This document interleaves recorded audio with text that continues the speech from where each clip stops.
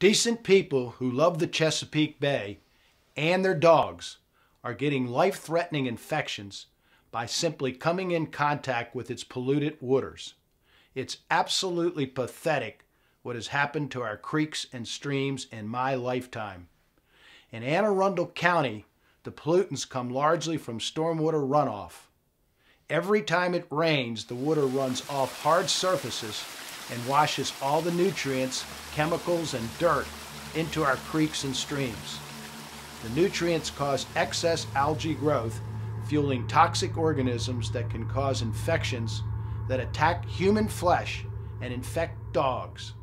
The county has 43,000 acres of impervious surface from developed areas with more than 33,000 storm drain inlets funneling polluted runoff to our creeks and streams.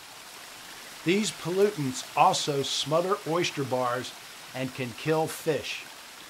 There are many things you can do to help prevent stormwater pollution and make the waters here in Anne Arundel County safer for you, your children, and your pets. First, minimize impervious surfaces where water can naturally penetrate into the ground at your home install rain barrels and rain gardens. Plant water absorbing native trees, shrubs, and ground cover. Stop using or minimize use of lawn fertilizers. And don't use pesticides. Use natural alternatives instead. Pick up after your pets and dispose of pet waste in the garbage.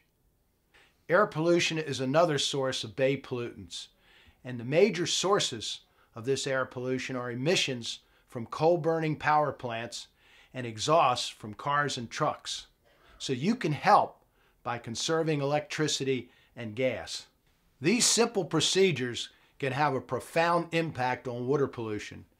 To find out how and how easy and inexpensive they are to put into effect, go to the websites on your screen, bayactionplan.com and rainscaping.org you can actually receive an Anne Arundel County property tax credit of up to $10,000 over five years for installing rain barrels, rain gardens, and other stormwater controls. You also can support the stormwater fee. The county has a huge backlog of projects to fix stormwater problems to protect water quality and human and pet health. Please do your part to help prevent bay pollution, and for the sake of our children and grandchildren, please act to protect our natural heritage and cleanse our polluted streams and rivers of the stormwater runoff plague.